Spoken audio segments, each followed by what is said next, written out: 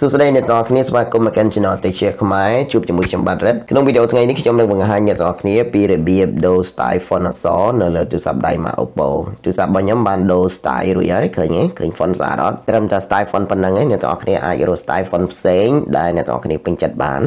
ដោយគ្រាន់តែធ្វើតាមរបៀបខ្ញុំពីដើមដល់ចប់ទាំងអស់គ្នាប្រកាសជាអាចធ្វើបានឥឡូវកុំឲ្យកាត់ពេលយូរយើងទៅមើលពីរបៀបដូរ style font អក្សរនៅលើទូរស័ព្ទដៃមក Oppo ទាំងអស់គ្នា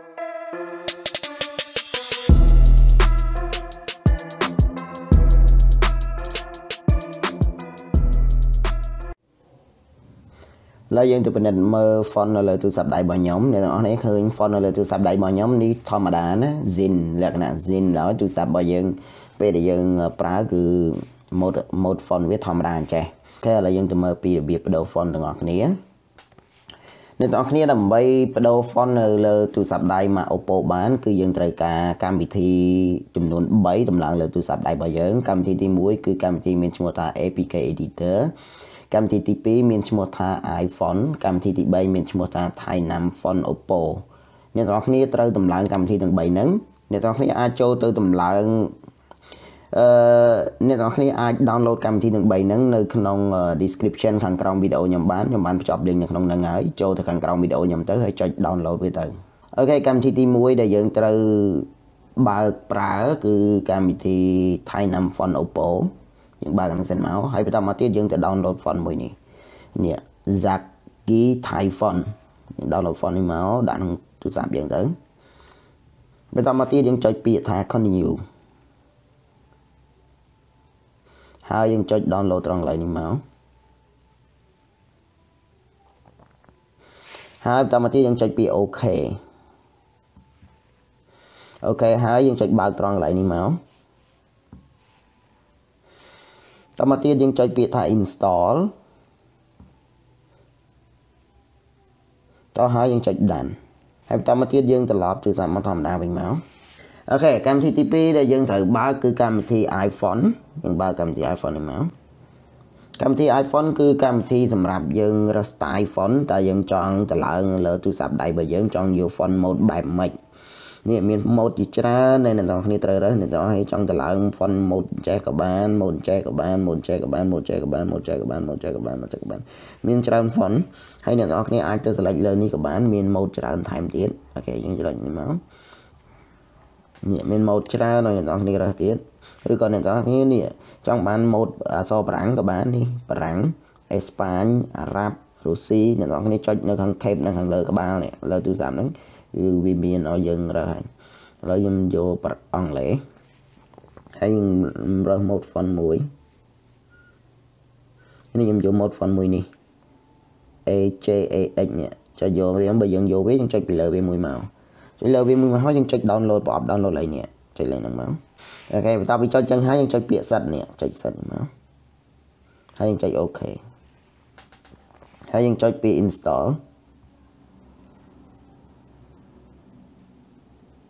អូខេឥឡូវយើងត្រឡប់ទូរស័ព្ទមកធម្មតាវិញបន្តមកទៀតយើងទៅបើកកម្មវិធីមួយទៀតដែលមានឈ្មោះថា APK Editor ហើយយើងចុចយកប្រអប់ទី2នេះមកហើយបន្តមកទៀតយើងទៅរកឈ្មោះ font ដែលយើង download មិញមាន A J A X នេះនេះឈ្មោះ font យើង download មិញហ្នឹងណាយើងចុចឈ្មោះ font ហ្នឹងមក download នៅលើកម្មវិធីទី2ដែលមានឈ្មោះថា iPhone ហ្នឹងណាយើងមិន download ឈ្មោះ font មួយមានឈ្មោះថា AJAX ហ្នឹងហើយអញ្ចឹងយើងចុចយកវាមក តមកយើងចុចយកអាទី2នេះ sample edit តមកទៀតយើងចុចយកប្រអប់នេះ asset ចុចនឹងមកហើយយើងយកពាក្យ font ប្រអប់ font ហើយតមកទៀតយើងចុចនេះ icon ខាងស្ដាំដៃសញ្ញា save ហ្នឹងចុចមកហើយតមកទៀតយើងចុចពាក្យ OK ហើយ OK ទៀត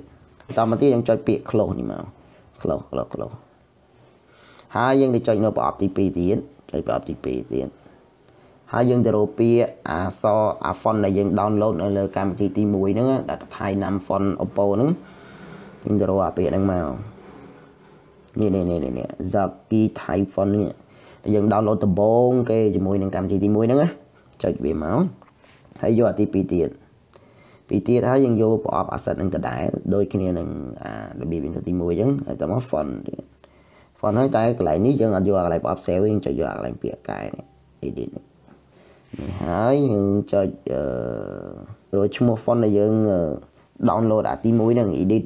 edit ហើយយើងចុចទៅរកអាឈ្មោះ font ដែលយើង download ទី2ជាមួយនឹងកម្មវិធីទី2ហ្នឹងម្ដងទៀតនេះ AJX ហ្នឹងយើងទៅរកអាឈ្មោះ font ដែលយើង download ម្ដងលើកទី2ហ្នឹង